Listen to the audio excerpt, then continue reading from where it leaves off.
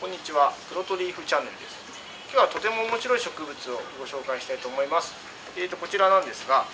あのまあ、ランなんですけどもこれエビレンドラムというランの仲間なんですけども、まあ、ご覧の通りですねこう木の皮にですねへばりつけてあります。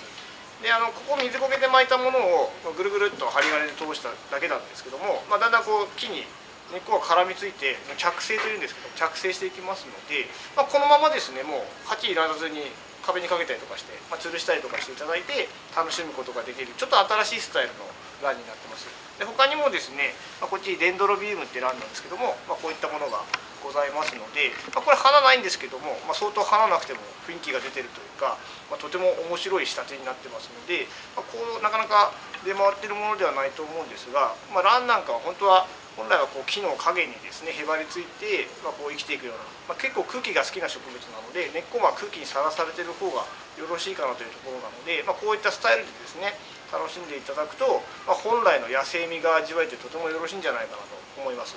であの基本的な管理方法なんですが非常に乾きやすいので、まあ、霧吹きでここをしっかりと湿らしてあげるかもしくはあの水にジャボンとつけていただいて十分に水を吸わせてあげるってことが必要になりますから基本的にあの乾燥には結構耐えられる方なんですが乾かしすぎると花が早く終わってしまったりですとか葉っぱが落ちちゃったりするのであのほどほどに湿度を保てるようにあの風通しがあった方がいいんですがエアコンなどの乾いた風が当たらないように気をつけていただければ。